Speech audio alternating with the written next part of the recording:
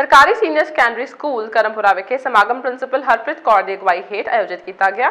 ਵਿਧਾਇਕ ਸੁਨੀਲ ਦੱਤੀ ਇਸ ਮੌਕੇ ਤੇ ਮੁੱਖ ਮਹਿਮਾਨ ਸਨ ਅਤੇ ਉਹਨਾਂ ਨੇ ਪੰਜਾਬ ਸਰਕਾਰ ਦੀ ਮਾਈ ਭਾਗੋ ਸਕੀਮ ਦੇ ਤਹਿਤ 48 ਵਿਦਿਆਰਥੀਆਂ ਨੂੰ ਸਾਈਕਲ ਵੰਡੇ। ਉਹਨਾਂ ਸਕੂਲ ਨੂੰ ਹਰ ਲੋੜਿੰਦਾ ਸਹਿਯੋਗ ਦੇਣ ਦਾ ਭਰੋਸਾ ਦਿੱਤਾ। ਸਕੂਲ ਵੱਲੋਂ ਸ਼੍ਰੀ ਦੱਤੀ ਜੀ ਨੂੰ ਸਨਮਾਨਿਤ ਕੀਤਾ ਗਿਆ। ਸਕੂਲ ਦੀਆਂ ਵਿਦਿਆਰਥਣਾਂ ਨੇ ਰੰਗਾਰੰਗ ਪ੍ਰੋਗਰਾਮ ਪੇਸ਼ ਕੀਤਾ।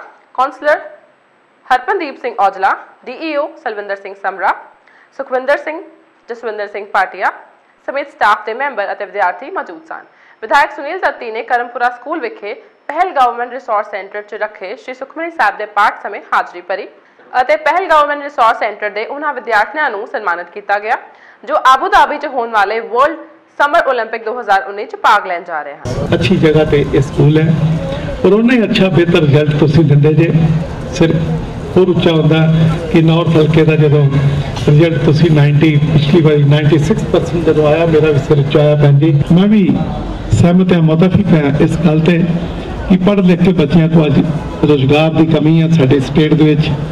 ਔਰ ਉਹਦੇ ਲਈ ਅਸੀਂ ਲੱਗੇ ਹੋਏ ਹਾਂ ਇੰਡਸਟਰੀਅਲ ਪਾਲਿਸੀ ਜਿਹੜੀ ਆ ਰਹੀ ਹੈ, ਉਹਦੇ ਵਿੱਚ ਸਾਡੀ ਕੋਸ਼ਿਸ਼ ਹੈ ਕਿ ਬੱਚੇ ਪੜ੍ਹ ਲਿਖ ਕੇ ਬਾਹਰ ਘੱਟ ਜਾਣ, ਇੱਥੇ ਰਹਿਣ, ਪੜ੍ਹਨ ਲਿਖਣ। ਪਰ ਅਸੀਂ ਸਮਝਦੇ ਹਾਂ ਕਿ ਸਾਡਾ ਸਰਮਾਇਆ ਪੜ੍ਹ ਲਿਖ ਕੇ ਸਾਰਾ ਬਾਹਰ ਜਾ ਰਿਹਾ ਇਹ ਚਿੰਤਾ ਦਾ ਵਿਸ਼ਾ ਹੈ।